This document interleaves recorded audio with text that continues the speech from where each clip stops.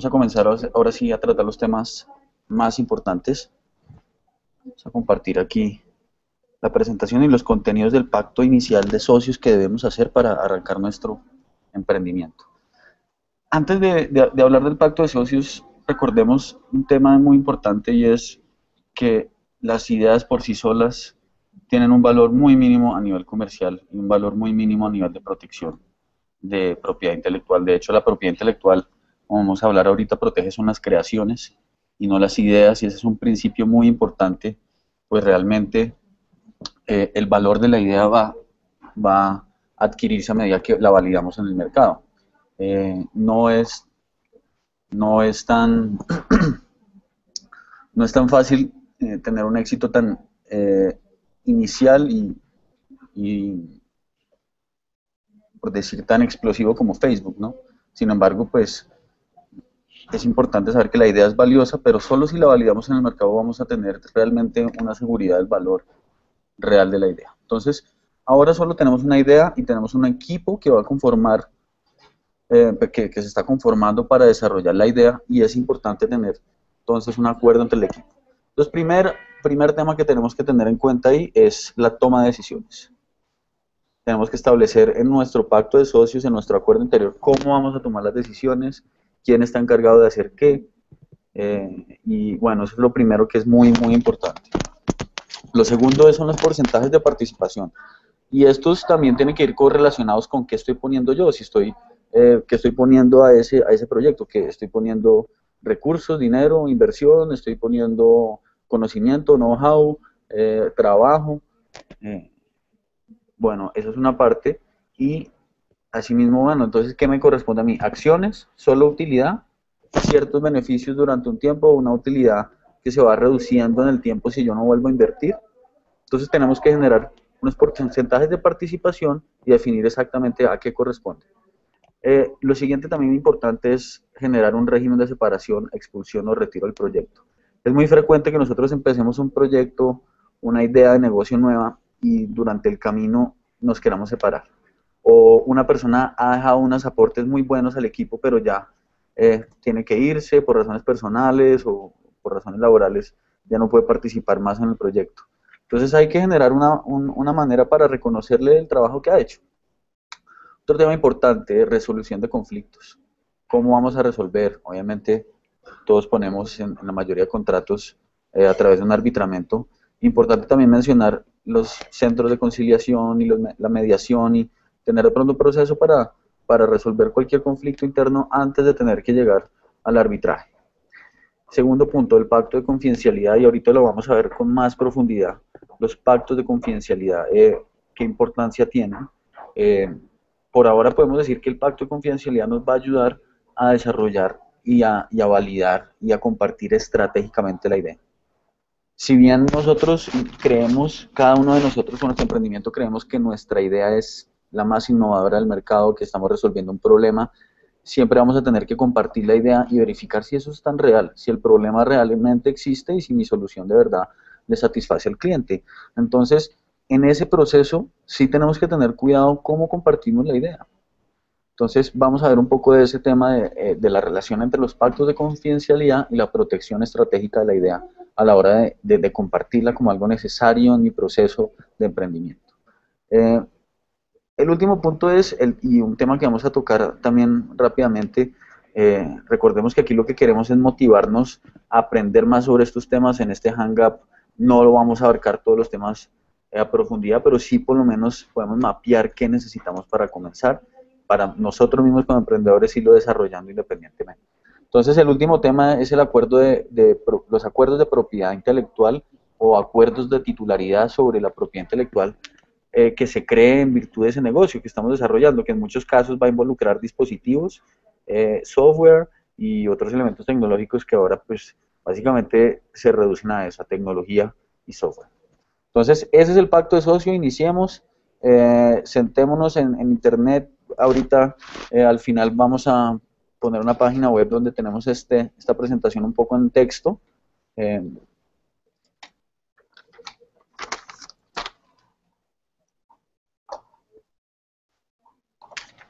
Y aquí les, les pongo, ¿Se está viendo? Em, y aquí está la, la lista de, de, los ingredientes del pacto de socios. Como les decía, les vamos a pasar un link y en ese link van a poder encontrar eh, al final del documento, al final del artículo, em, unos links donde pueden encontrar modelos de pactos de socios. Naturalmente tienen que adaptarlo a su escenario, estos son solo modelos, eh, están diseñados a modo general. Entonces, bueno, ese es el pacto de socios, el primer tema importante que tenemos que tratar.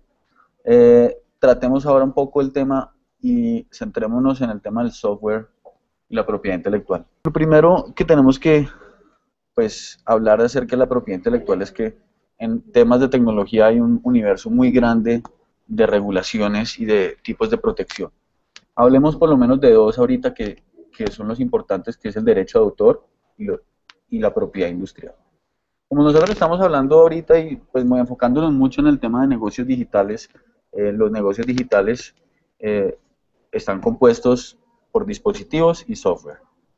Eh, realmente esos son los dos componentes que podemos digamos, mencionar ahorita y, y, en el tema del software podemos decir que básicamente se protege por el tema, por la ley de derecho de autor.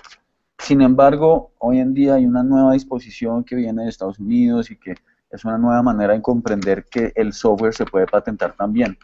Eh, sin embargo, el patentamiento del software es un tema muy complejo eh, en el cual uno tiene que realmente estar resolviendo un tema, eh, resolviendo un problema técnico a través del software y son casos contados. En Colombia no conozco el primer software patentado, en Estados Unidos sí los hay y, son temas tecnológicos muy avanzados que resuelve el software, ¿sí? Entonces, esto es un tema muy particular que no vamos a profundizar hoy. Hoy queremos tratar es el tema del derecho de autor y el software, el tema de su patentabilidad es un tema que dejaremos pendiente para otra ocasión. Importante saber que en la propiedad industrial sí vamos a tener relación con, eh, y si estamos desarrollando dispositivos, vamos a tener que investigar un poco sobre la patentabilidad de nuestro dispositivo y si de pronto nosotros desarrollamos algo que ya tiene patente eh, y de pronto alguien tiene derecho sobre esa patente, entonces vamos a tener que investigar si nuestro invento ya existe, ya está patentado o, si de pronto nosotros vamos a tener que patentar. Ojo con un problema ahí, eh, es al desarrollar dispositivos para quienes de pronto en investigaciones o en estos procesos estén también generando una idea de negocio a partir de dispositivos, la recomendación importante es hacer esa investigación de patentes antes de publicar eh, eh, ningún tipo de artículo sobre el invento que revele lo que está solucionando o cómo lo está haciendo. muchas personas, muchos emprendedores de innovación, investigación y desarrollo desarrollan dispositivos o soluciones químicas a problemas eh, y en el entusiasmo publican estas soluciones perdiendo la posibilidad de patentarlos. Eso es un tema que también les dejo para que mastiquen. Entonces, eh, es muy importante que si están desarrollando dispositivos, se, eh, se instruyan bien con la SIC, Superintendencia de Industria y Comercio, y investiguen el tema de patentes. Bueno, entonces, antes de entrar en software, también quiero mencionar el tema de marcas. Eh, para todo emprendedor es importante saber desarrollar su marca y su logotipo y qué imagen va a utilizar para moverse en el mercado y al mismo tiempo eh, y al mismo tiempo el nombre que va a utilizar si va a tener algún elemento gráfico o en tres dimensiones o sonoro. Es muy importante eh, primero no tener varias opciones de marca no estar enamorado y casado con una sola marca porque es muy frecuente que uno llegue a la SIC, haga su proceso de marcas y en un momento dado, ya justo cuando está uno en el final del proceso, todavía en el término de oposición, aparezca un opositor con una marca que uno investigó y no encontró. Entonces, eh, es importante tener eso en cuenta. Primero, hacer una gestión de marca y estar dispuesto a pivotear la marca en cualquier momento. Eh, eso es un tema que quiero que, quede muy claro. Eh, es importante, hasta no tener el acto administrativo que me otorga la marca, entonces tengo que tener otras opciones de marca disponibles. Bueno, hablemos ahora sí del software eh, y el derecho de autor y, básicamente lo que queremos mencionar es que eh, hay que generar un pacto sobre el software que vamos a crear en un emprendimiento. No solamente sobre, bueno, las ganancias y las acciones sobre el negocio, el valor del negocio, también sobre la titularidad sobre el software. Para esto es bueno que, consulten la página de la Dirección Nacional de Derecho de Autor. Es eh, www.derechodeautor.gov.co. Allá también tienen asesores disponibles todo el día, de lunes a viernes, de 8 a 5, de 8 a 4, eh, asesores dispuestos a resolver inquietudes. Eh, importante estudiar el tema de titularidad, quién, va quién es el desarrollador, quién va a tener los derechos posteriormente luego del desarrollo, y para esto es muy importante el tema del contrato de obra por encargo, el contrato de, obra laboral, eh, o de obra desarrollada en virtud de un contrato laboral. Estos temas son muy importantes para toda persona que quiera desarrollar un software. El siguiente tema, eh, y pues en general, disculpen, volvámonos un poco al tema de los frutos del derecho de autor y los derechos patrimoniales y morales que también tienen mucho que ver. Eh, pero no ya en cuanto a quién es el titular o quién es el que tiene los derechos, sino en cuanto a cómo yo genero modelos de negocio a partir de mi software. Y eso se hace a través de los frutos del derecho de autor, que llamamos, que son los derechos patrimoniales y morales el derecho de autor otorga esos derechos patrimoniales y morales y como, van a poder ver si consultan a, la Dirección de Derecho de Autor, los derechos patrimoniales son los que me permiten eh, generar un modelo de negocio a partir de mi obra o de mi software. Eh, la transferencia de esos derechos va a ser muy importante porque ustedes ahora mismo si no tienen el software todavía, pues van a generar un software futuro y hay que generar un acuerdo sobre ese software futuro.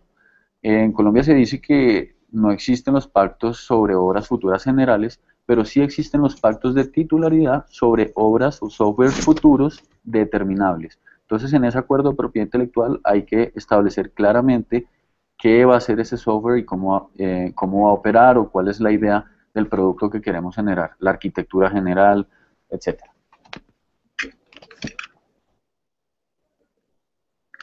Vamos a avanzar y rápidamente al terminar estos temas vamos a empezar a responder las preguntas que ya empezaron a llegar.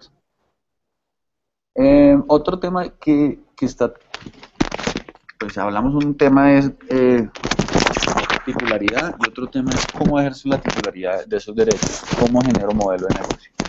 Y ahora entramos en este tema que son los tipos de negocio que nosotros podemos generar a partir del licenciamiento de nuestro software. Y eso tiene todo que ver con lo que les mencionaba, que es el derecho patrimonial. Si nosotros miramos em, en el derecho de autor, lo que se otorga es un derecho exclusivo de uso y autorización, es decir, el autor o titular es la única persona que puede usar la obra, al menos que él autorice su uso eh, a otras personas. Esa autorización de uso es muy similar a, como, como llamaríamos, el alquiler de un carro. Si en software nosotros hablamos de licencia eh, de uso, eh, digamos que un ejemplo similar, una licencia de uso que podríamos mencionar sería la licencia de uso que le dan a uno cuando uno alquila un carro. Entonces es lo mismo, las personas tienen derecho a usar el software, a, gozar de su funcionalidad, pero no tienen derecho a modificarlo, a venderlo, a, utilizar esos derechos de propiedad intelectual. Entonces el titular de los derechos de propiedad intelectual va a determinar cómo amoldamos esa licencia a mi modelo de negocio.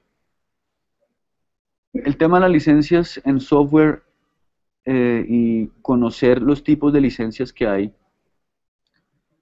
es fundamental para el éxito.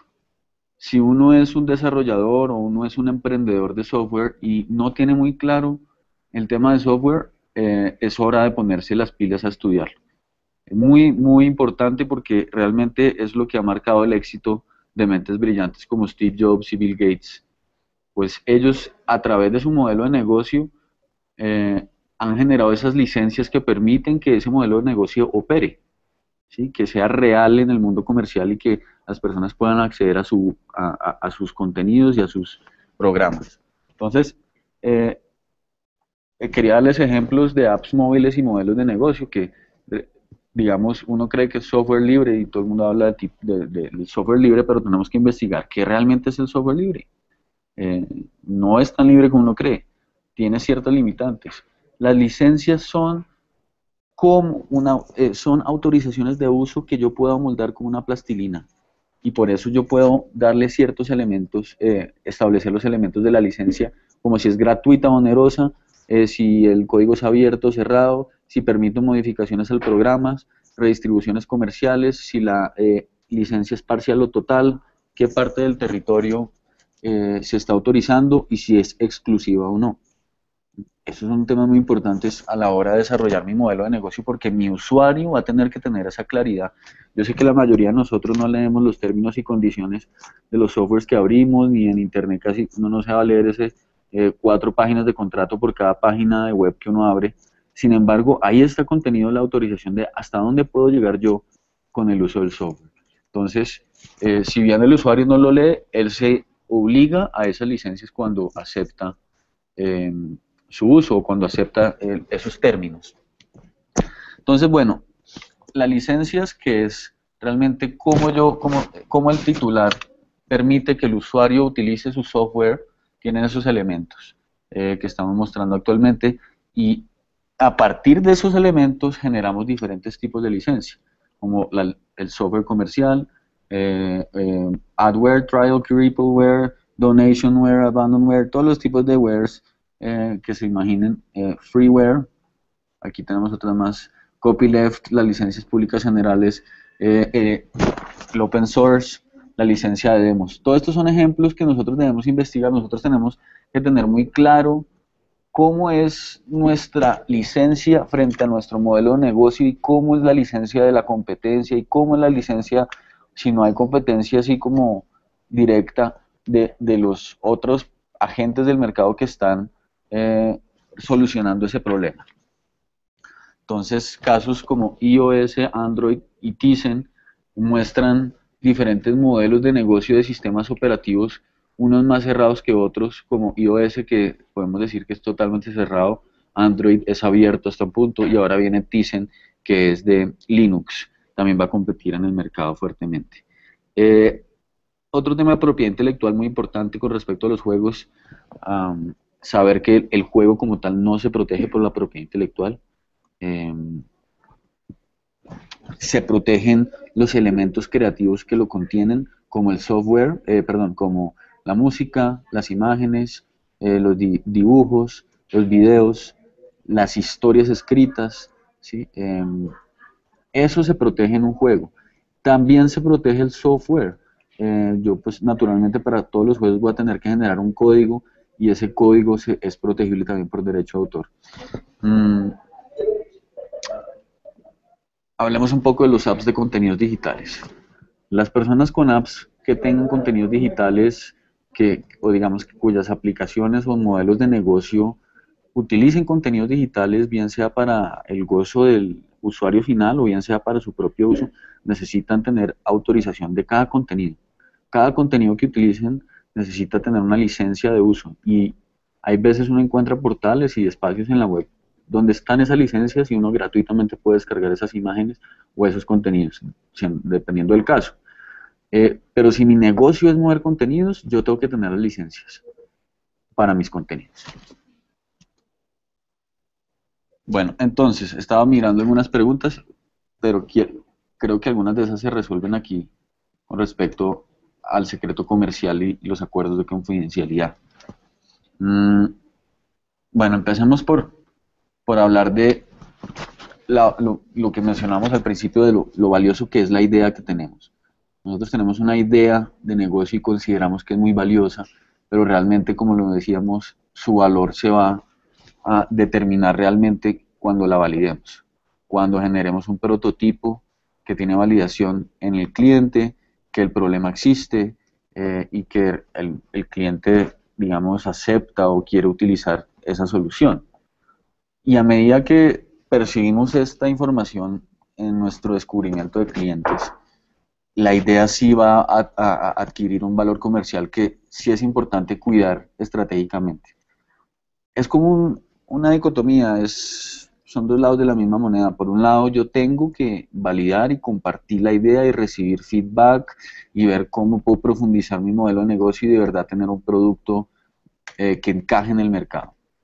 Pero por otro lado, pues también eh, ciertos elementos de mi idea en el cómo yo la realizo, cómo yo eh, llevo a cabo mi idea de negocio, no tengo por qué compartirlas, sino en determinados momentos. En nuestro escrito que tenemos en, apps.com noticias, que hablamos de los elementos legales, hablamos un poco de lo que es la cacería de un cocodrilo gigante y la analogía, perdón, la metáfora dice que para cazar un cocodrilo gigante que puede ser un inversionista o un, gran empresario que se mueve en su hábitat tranquilamente y caza perfecto, hay que motivarlo, atraerlo a una nueva idea, hay que saberle vender la idea, no tirarle toda la presa de una vez.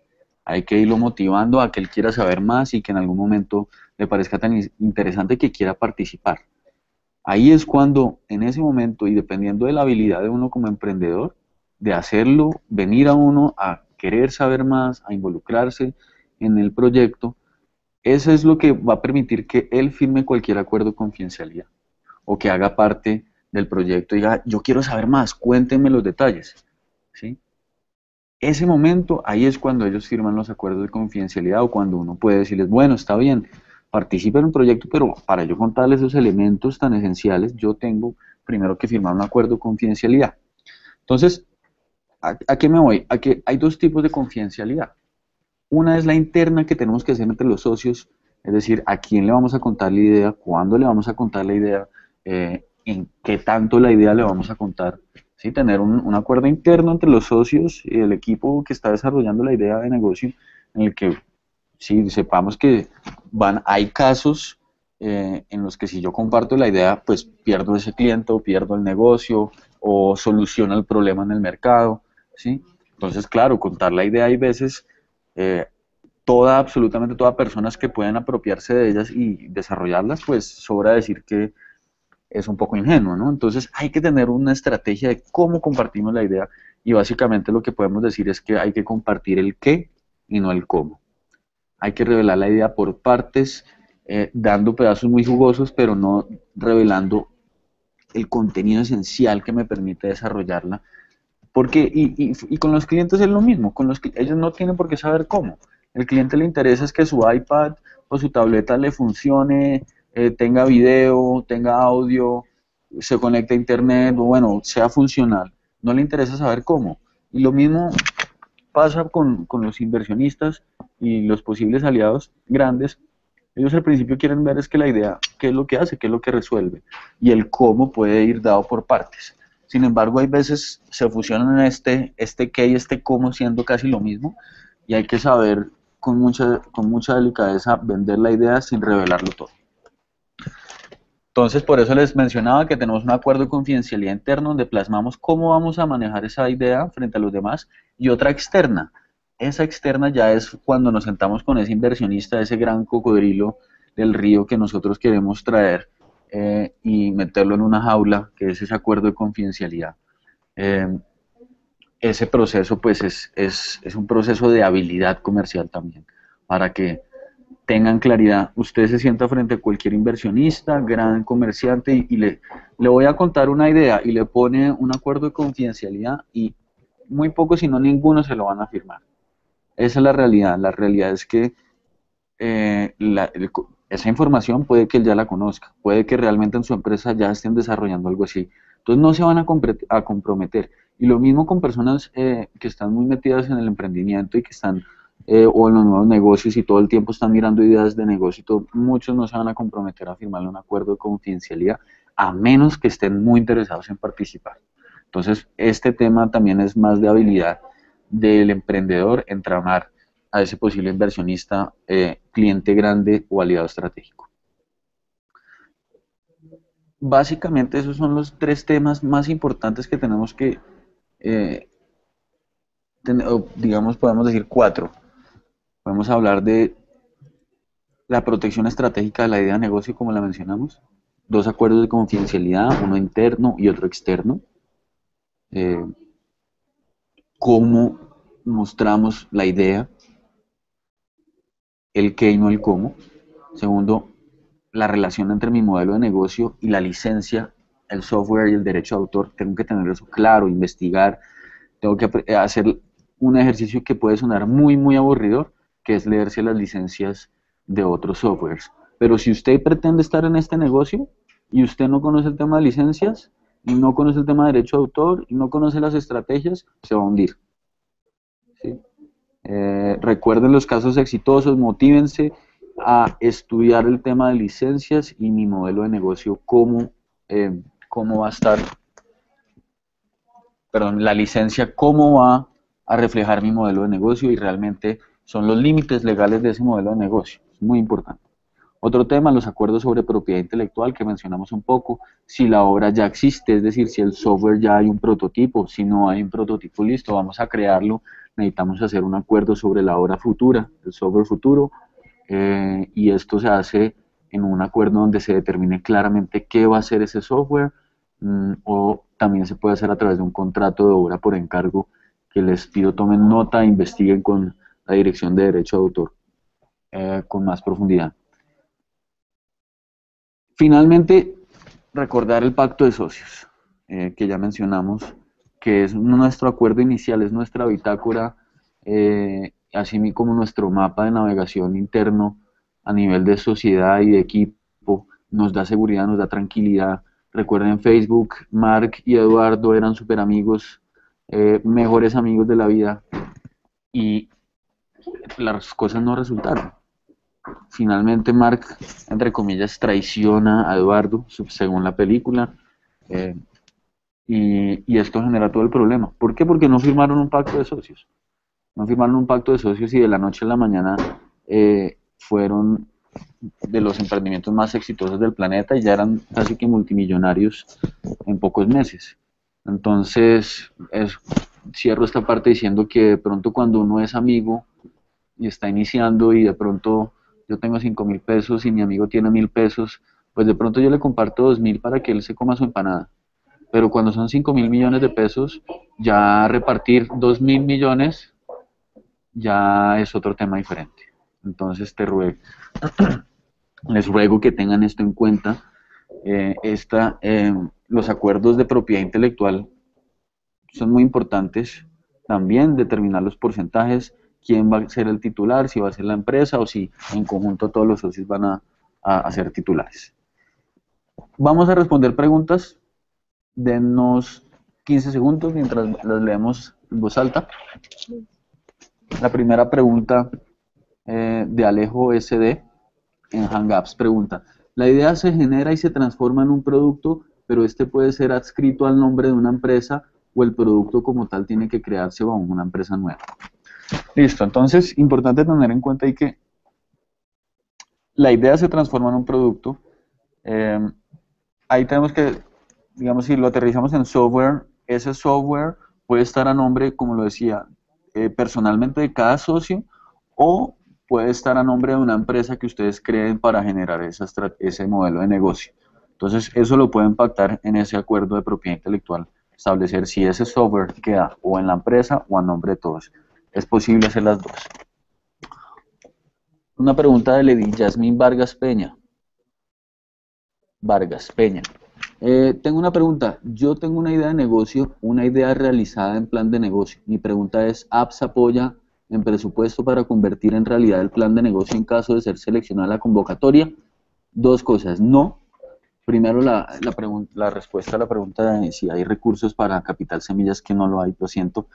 Pero eh, sí hay recursos invertidos en ustedes los emprendedores a través de un apoyo metodológico eh, muy interesante que ha sido muy exitoso a nivel mundial, que ha generado eh, modelos de negocio exitosos como Tapsi, como laspartes.com, bueno, entre otros casos, digamos, reconocidos aquí en Colombia y, y en el mundo ha sido muy exitoso en generar modelos de negocio exitosos, valga la redundancia. Otro tema importante que veo ahí y es mi plan de negocio y mi idea. Eh, tener una idea de negocio y escribirla en un plan de negocio no es plasmar, no es materializar la idea. Es solamente escribir un plan de negocio. Y yo puedo llevar mi plan de negocio y registrarlo en derecho de autor y eso no me da derechos sobre el plan de negocio. Solo sobre un, sobre un escrito, un texto literario que yo escribí. Otra pregunta de cómo proteger una idea. Listo, pues ya vimos un poco aquí en la charla que la protección de la idea tiene que ser estratégica. Entonces, protegerla como pretender ser el único que tiene esa idea en el planeta, eso también tenemos que ir esfumándonos, de, esfumando esa idea en nuestra mente. Tenemos que asumir la realidad de que es posible que muchas personas tengan la idea al mismo tiempo, especialmente si es un problema común y generalizado. ¿sí? Problemas comunes y generalizados por lo general generan soluciones comunes y generalizadas. Entonces, me parece muy importante eh, establecer que para proteger una idea, primero pues podemos generar esos acuerdos de confidencialidad internos entre mis socios y no compartamos la idea con posibles clientes que se lleven la idea, la desarrollen o posibles competidores o inversionistas que de pronto van a utilizarla ellos mismos. Eso me parece muy natural ser estratégico en el manejo, pero no si yo necesito compartir la idea en entornos donde voy a enriquecerla y la voy a profundizar. Entonces tengo que compartir. Lo importante es qué comparto. ¿Qué comparte mi idea? El qué y no el cómo es lo que nosotros recomendamos. Y, y, depende de cada escenario también, no podemos señalar una regla general. Entonces, proteger la idea realmente solo lo podemos hacer siendo estratégicos con ella, cómo la compartimos, y no podemos, digamos, soñar con ser los únicos en tener una idea porque eso no funciona así. Varias personas pueden tener la misma idea, la pueden estar desarrollando ahorita y parte del proceso de parte de este proceso en apps y, de esta metodología es investigar si la idea ya existe y si ya la están desarrollando y qué retos han enfrentado esas personas que la han desarrollado y cómo me puedo nutrir de esas ideas para generar un modelo de negocio también exitoso importantes cosas, eh, digamos, elementos. Mi marca, mi marca, ya la tengo, ya tengo mi, la imagen que quiero usar, ¿sí? Tengo un plan B de marca, entonces tenemos que tener muy claro en qué fase estamos. Yo, para las personas que van a presentarse en esta convocatoria de ideación, yo les recomiendo a ustedes generar ese pacto interno. Eh, si están desarrollando dispositivos, eh, hacer la investigación de patentabilidad.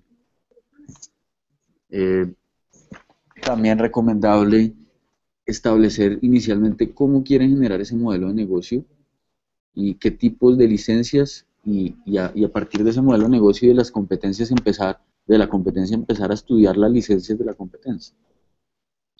Finalmente, eh, quiero terminar por señalar que existe otra parte muy importante que hay que tener en cuenta en el modelo de negocio, que es la gestión de la propiedad intelectual.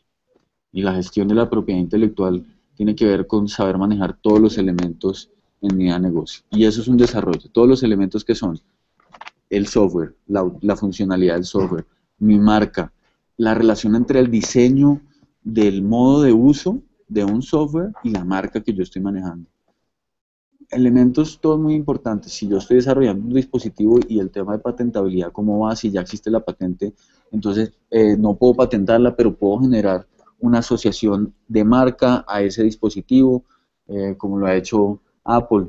Seguramente algunos dispositivos de Apple, eh, o si hiciéramos un ejemplo, dentro de 20 años, ciertos dispositivos patentados por Apple ahorita ya van a estar en dominio público.